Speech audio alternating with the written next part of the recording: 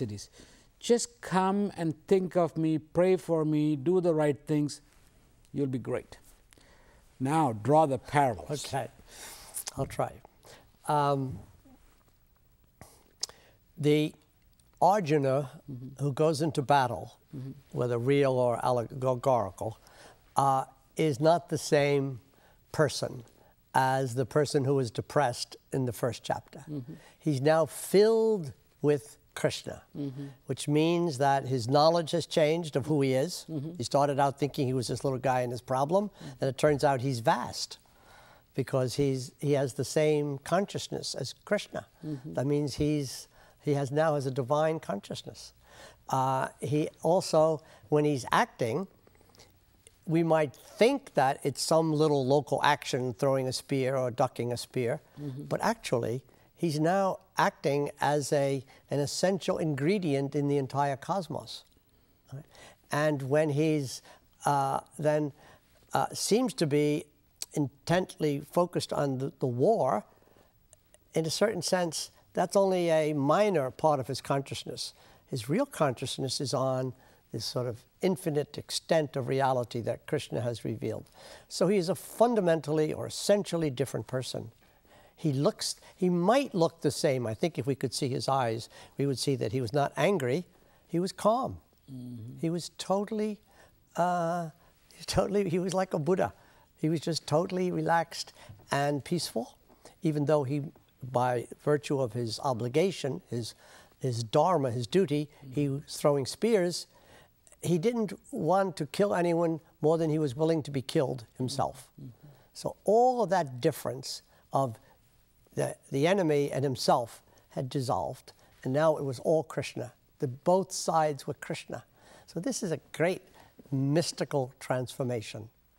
But does that mean that he almost or in fact merged with the universal energy of Krishna yes. or the Atman or the Brahman or yes. the consciousness? Yes. It so did. Th that's what that So that is, is, the objective? That is the objective. Okay. Now let's go to the Western tradition, the Abrahamic tradition. Okay, let me just add a little piece. Okay. But because that's a very complicated objective mm -hmm. and and it's hard to do, and even it's hard to know if you've done it. Mm-hmm. And some people think they've done it and might be didn't do it and then do bad deeds. Mm-hmm. Okay, that it's a much safer and sensible way for most people in most circumstances not to aim at that or to aim at that kind of indirectly and really to focus on where the Gita begins, as Gandhi did in chapters uh, two and three, and say, look, if we could get this right, if we could act selflessly, mm-hmm. that would be a good start. That's where the Gita starts. Very appropriately, it starts there. That's where we live. No one cannot act. We have to start there.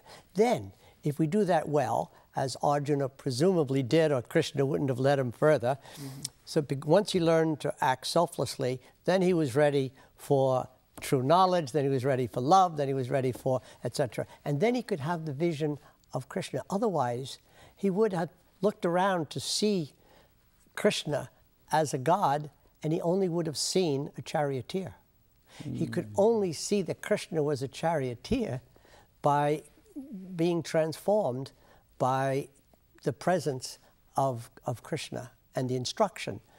But the presence may be even more important than the instruction. So now, if we turn to the New Testament and to the teachings of Jesus, mm-hmm. but also the presence of Jesus, mm-hmm or, or Christ. Um, in the New Testament, there is some amount of emphasis on duty, mm-hmm. but it doesn't have quite the same emphasis on dharma and karma. Mm-hmm. Somewhat implicit, because mm-hmm. it's a traditional culture, and all traditional cultures, I think, have that in common. Mm-hmm. All right, but the the clearly the major teaching, you could almost say the only teaching of the New Testament is love. That's what Jesus is about, or Christ. That's what he taught.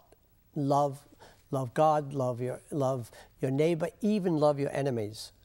So now, I'm not saying that's not in the Bhagavad Gita. It is the bhakti yoga of the, the Bhagavad Gita, the love yoga, the devotional yoga, is parallel comparable, similar to uh, agape, um, which is the Greek term, but it's the, it's or charity. It's the love uh, which is selfless.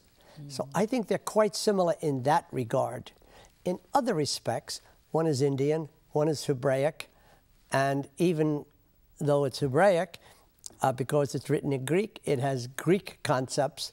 So it's already fusing two worlds in a certain sense. The Bhagavad Gita is in only one world, but it's fusing four or five or six traditions of South India, uh, Indian, all right, uh, uh, South Asia or Indian, uh, which then comes later to be called Hindu. so in the in the New Testament, the emphasis is on love almost uh, to the neglect of everything else. It's not a social philosophy. It's not uh, solving the problem of, of withdrawal of the senses, as in uh, yoga. It is entirely the teaching of selflessness and the sacrifice of the self uh, in favor of divinity. It has a slightly different emphasis, but I believe that at the height of the Gita and the height of the New Testament are completely compatible. That's what I believe too. But if you look at the the you know Peter and Paul and John, all those things, you do find they put a lot of emphasis on the Maya aspect of Christ. You know, doing things. You know, he's able to go and cure uh, lepers, or he's take one fish and make fifty thousand fish out of it. I don't understand the reason for the emphasis. I say after I read that over and over again, I say, I got it. Tell me more. Now, when you said, did you say Maya? My meaning uh, miracles. Oh, miracles. miracles. Oh, okay, okay. They, they emphasize a lot about miracles yes. in each of those uh, right. New Testament sections. Right. right. And I just wonder, is there what what's the purpose of it? Okay. And what's a what's a comparison to that within the Gita? Well, I'll start with the Gita. Okay. The greatest miracle I can imagine mm-hmm. is the appearance of a god to a soldier. Very good. And then says, Now pay attention, soldier. Mm-hmm. Do what I tell you, mm-hmm. and you'll see something really great. And